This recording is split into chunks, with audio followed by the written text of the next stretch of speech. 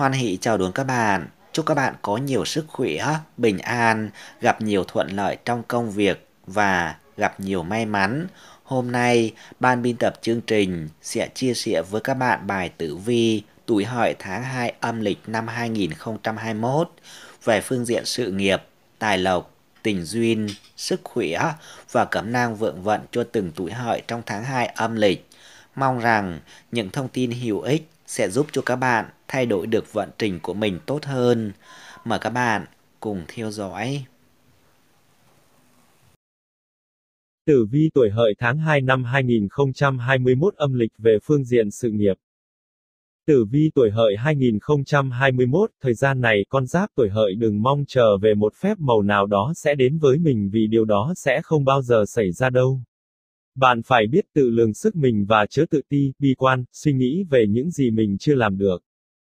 Nguyệt lệnh mộc dục dự báo công việc bấp bênh, chưa vững chắc, thường có sự thay đổi. Dường như mọi thứ diễn biến bất ngờ, bạn không lường trước được sự việc nên hay mất hướng đi. Thực ra, vấn đề nằm ở cách nghĩ của bạn mà thôi, cũng một sự việc nhưng trong tâm trạng không tốt bạn đã nghĩ sai mọi việc. Thế nhưng với tâm thế một người luôn sẵn sàng vượt qua khó khăn thì bạn sẽ trở nên chủ động hơn, không còn trong vai trò người bị hại nữa bạn mới có thêm sức mạnh. Tử vi tháng 2 năm 2021 tuổi hợi âm lịch về phương diện tài lộc.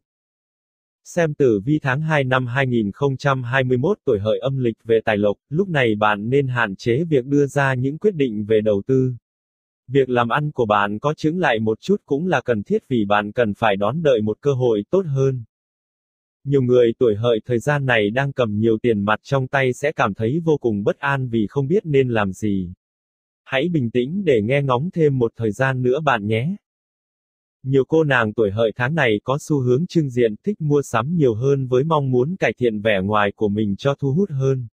Việc này có vẻ chính đáng tuy nhiên, nên cân đối lại tình hình tài chính của mình hơn để tránh việc vung tay quá chán bạn nhé. Tử vi tuổi hợi tháng 2 năm 2021 âm lịch về phương diện tình duyên.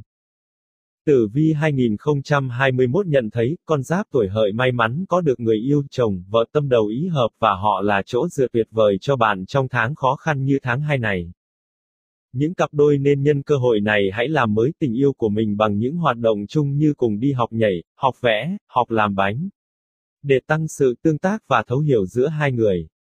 Nhờ có tam hợp mà đào hoa rực rỡ đối với người độc thân, bạn khá bận rộn trong việc sắp xếp các cuộc hẹn của mình trong thời gian này và sẽ có một số buổi khá nhàm chán nhưng hãy kiên nhẫn vì bạn đang trong quá trình chọn lọc người phù hợp với mình mà thôi. Hứa hẹn là bạn sẽ có cơ hội tìm thấy đối tượng mà bạn yêu thích trong tháng này khi bạn biết mở lòng mình ra đón nhận. Bạn nên bỏ bớt những quy tắc và sự dập khuôn của mình đi nhé. Nhất Bạch bay về phương Tây dự báo có tin vui trong gia đình, dễ có việc cưới hỏi, hỷ sự và ai cũng cảm thấy vui lây vì thông tin này. Tử vi tháng 2 năm 2021 tuổi hợi âm lịch về phương diện sức khỏe. Xem tử vi tháng 2 năm 2021 của 12 con giáp âm lịch về phương diện sức khỏe con giáp tuổi hợi không có bệnh gì đáng ngại nhưng lại không tốt cho những ai đang đổ hết công, sức mình cho công việc. Những ai đang có sự nghiệp trông tranh lúc này có vẻ đang suy nghĩ quá nhiều, căng thẳng vì công việc nên nhiều đêm mất ngủ, ăn uống không ngon miệng. Ngũ hành tương sinh hậu thuẫn rất nhiều cho những ai đang bị bệnh sẽ dễ gặp được thầy thuốc có tâm chạy chữa giúp bạn. Cơ hội cho người ốm dậy hồi phục rất nhanh trong thời gian này, vì thế, dù thế nào cũng phải suy nghĩ lạc quan bạn nhé. Cẩm nang vượng vận cho từng tuổi hợi. 1. Đinh hợi, thổ, nam thủy diệu, nữ mộc đức. Khẩu quyết, hãy nhớ lại những gì bạn làm được để tự tin hơn.